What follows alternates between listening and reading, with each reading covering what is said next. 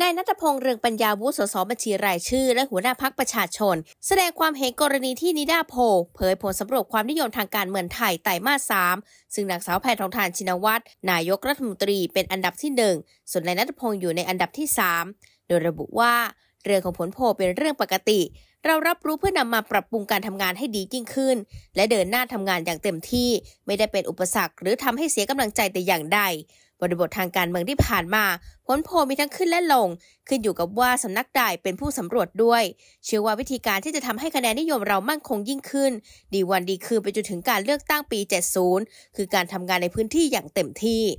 นายนัทพงศ์มองว่าคะแนนนิยมที่ลดลงไม่เกี่ยวกับการอภิปรายในสภา แต่มองว่าการที่สสของพรรคออกมาชี้แจงต่อสื่อมวลชนอย่างตรงไปตรงมาทำความเข้าใจ รวมถึงการทำงานพื้นที่อย่างใกล้ชิดประชาชน น่าจะเป็นส่วนสำคัญมากกว่า ส่วนอีกปัจจัยที่อาจทำให้คะแนนนิยมตก คือสถานการณ์ทางการเมือง ซึ่งเกิดการยุบพักที่ผ่านมาต้องยอมรับว่าในหลายพื้นที่ที่ตนไป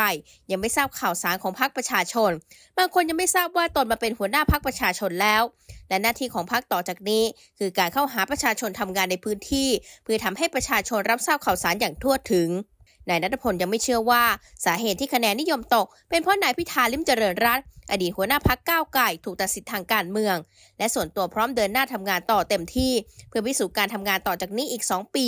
เชื่อว่าในการเลือกตั้งครั้งหน้าพรรคประชาชนจะได้รับการสนับสนุนจากประชาชน แต่ไม่ได้คาดหวังว่าจะมาเลือกเรา หากไม่มีผลงาน ในฐานะหัวหน้าพักต้องการสื่อสารกับพักว่า เราต้องทำงานอย่างเต็มที่ไม่ทิ้งพื้นที่ต้องทำผลงานให้เป็นรูปธรรมให้ได้ ในสัปดาห์หน้าคาดว่าจะมีการโปรดเกล้าโปรดกระหม่อม แต่งตั้งตำแหน่งผู้นำฝ่ายค้านในสภาผู้แทนราษฎรนั้น นายนัทพลบอกว่า คงทำหน้าที่ตรวจสอบรัฐบาลอย่างแข่งขันเช่นเดิม และจะขอใช้เวลาส่วนหนึ่งที่เป็นส่วนสำคัญในการลงพื้นที่พบประชาชนทั้งประเทศ และจัดเวทีผู้นำฝ่ายค้านพบประชาชน